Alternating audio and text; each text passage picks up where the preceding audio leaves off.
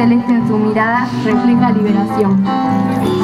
Líder siempre al frente y con la verdad. Todas sus hazañas fueron por la libertad. Nuestra patria lo ha proclamado su más grande paladín y por eso lo veneramos don José de San Martín.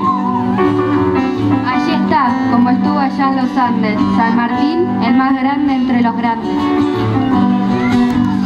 Allí está, señalando el horizonte, más allá de las sierras y de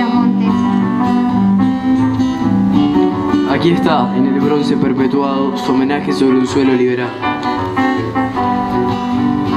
Aquí está, homenajeado en expresiones, quien dio libertad a tres naciones. Honramos la memoria del gran general, que su imagen en nuestra historia no tiene otra igual.